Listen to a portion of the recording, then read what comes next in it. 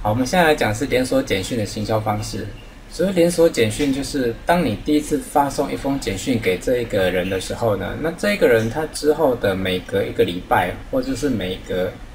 一个月，或者是每隔一天，他都会持续的收到你预先写好的简讯内容。那这个预先写好的简讯内容呢，它其实并不是广告，我我们其实是应该发送给他他需要的资讯。让他能够加速对你的企业或者是对你个人的品牌信任度，也就是让客户对你产生更强烈的信任感。所以这个简讯呢，你不需要每次都记得去发送。就是说，我们连续一年每个一个月都发送一封简讯给对方的话呢，那一年是不是就有十二个月？然后对方就会收到十二封简讯。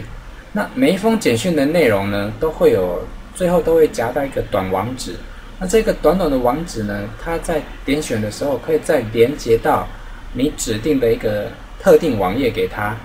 让他看更详细的内容介绍。譬如说你提供的服务，或者是你的专业项目，或者是你的个人特色，那你的每一封简讯呢发给对方的时候，底下都会带这个网址，然后这个网址又连到你的这一个更加详细的描述的网页的页面。那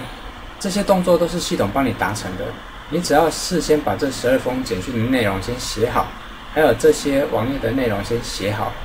之后只要有新的朋友新交换到的名片，或者是在呃客户或是网络上收集到的名单，你就可以把这个手机号码输入进去，然后开始按发送。之后的这一年之内呢，这个。客户呢，或者是潜在客户呢，他就会持续每个月收到这封简讯。所以这个设计的重点就是在于，这每一封简讯的内容是不是客户想要的资讯，是不是有价值的资讯，这个非常重要。但是呢，它是一个一劳永逸的方法，就是让这个客户呢，在你取得他的手机之后，每个月都会收到这样的简讯内容，那就可以让系统自动帮你经营客户。所以这个就是我们说的连锁式简讯。